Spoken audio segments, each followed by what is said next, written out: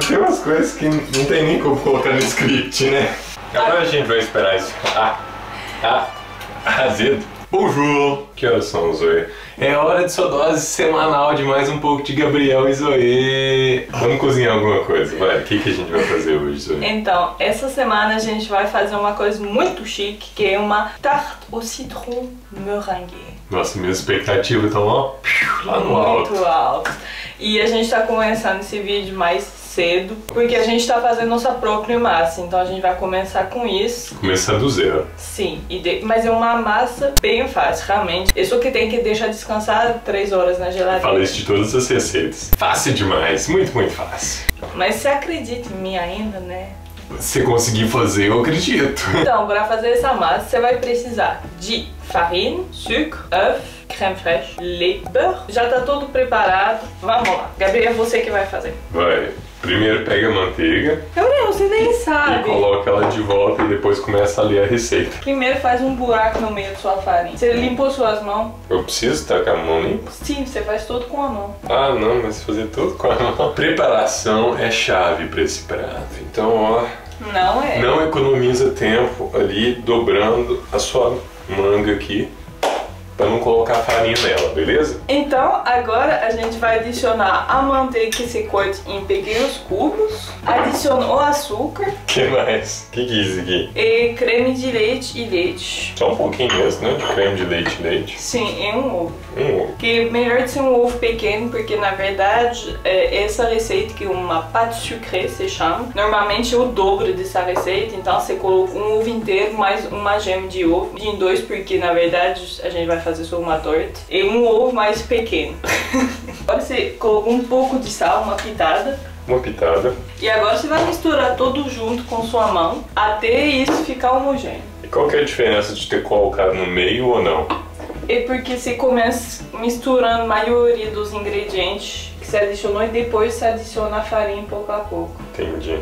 E quando já a sua farinha está todo hidratada e que está tudo mais ou menos bem junto, para formar realmente uma massa, você pode começar a colocar a mão inteira para tentar de junta tudo isso em uma bola. Tá pronto quando faz uma bola e não gruda no- nas bordas, mas não. Tá quase perfeito. Como eu.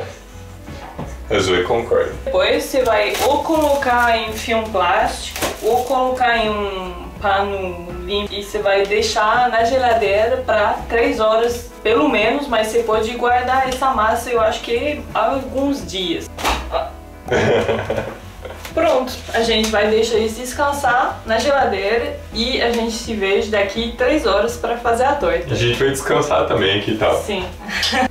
Olá de novo.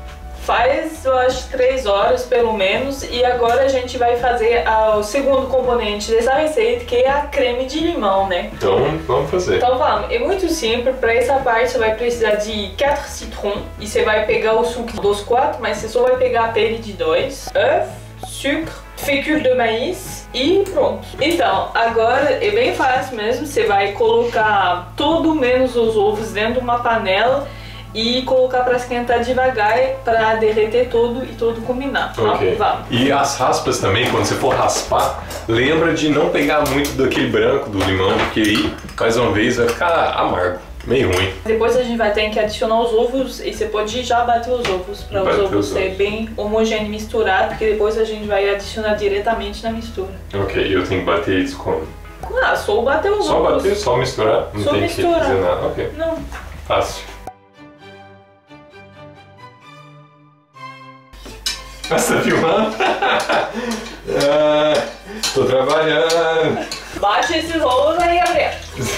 Como que sua vida tava dependendo nisso, por favor. Então desisto.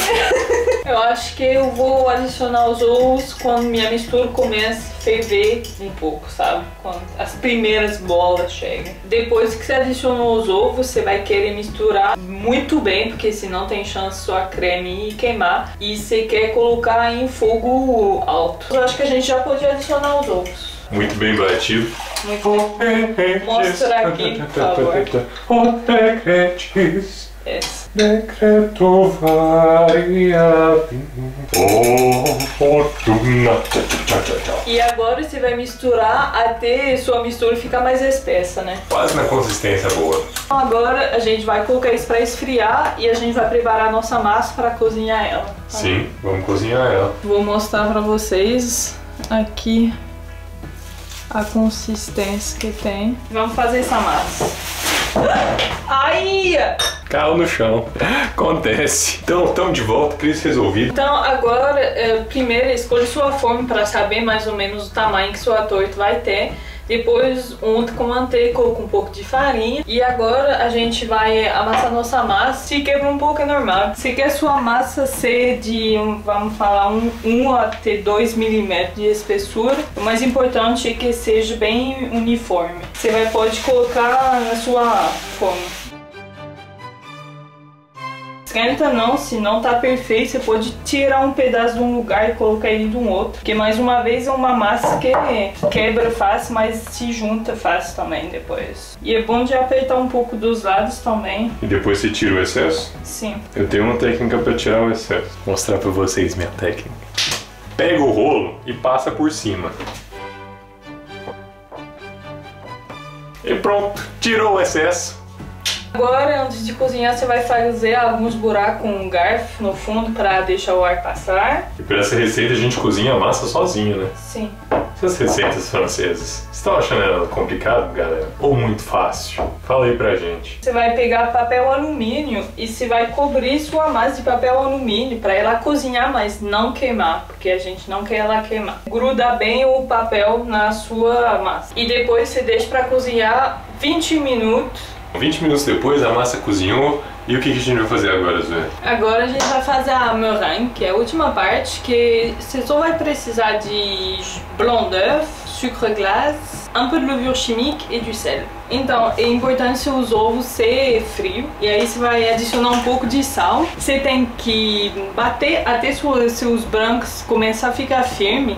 Quando eles começam a ficar firmes, você pode adicionar pouco a pouco seu açúcar e o fermento. E depois você continua batendo até chegar em um ponto que tá firme o suficiente. Coloque daqui dentro, né, pra fazer uma Beleza, coisa pode ali. ser. Eu Não, aprovo. você não quer? Eu aprovo, eu aprovo. Coloque seu forno para esquentar para 130 graus. Só isso? Fazendo isso, você pode colocar creme de limão em cima da massa. Sim. Tá bom, né, Zoe? Tá bom. E vou colocar merengue em cima dessa torta.